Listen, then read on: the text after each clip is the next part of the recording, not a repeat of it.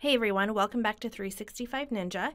In this video, I'm going to show you how to get started creating meetings in the Outlook web app. You'll actually need to go to your calendar section. So from your navigation bar or from this app selector, select calendar. And there's a couple different ways to start your meeting. You can just click this new button and then you'll have the meeting editor open right up. And there's a lot of options here for configuring your meeting that I'm not going to go into right now, but I'll create some future videos on some of these different options that you have. There's another way to create a meeting that I actually prefer.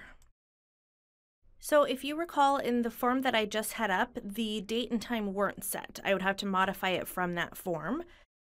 In my preferred method, I go directly to the time I want to create my meeting. Let's say 9:30 to 10 on Thursday, and I can double click that spot and that same form opens right up. So let me fill in my meeting details.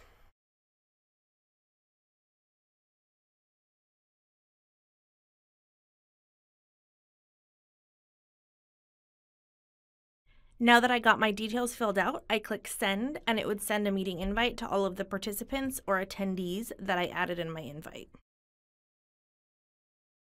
So now my meeting is set, and that's the very most basic, simple way to create a meeting in Outlook.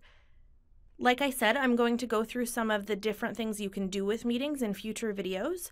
Please check back with 365ninja.com and feel free to drop me a line at ninja at 365ninja.com if you have any questions or tips. Thanks for listening.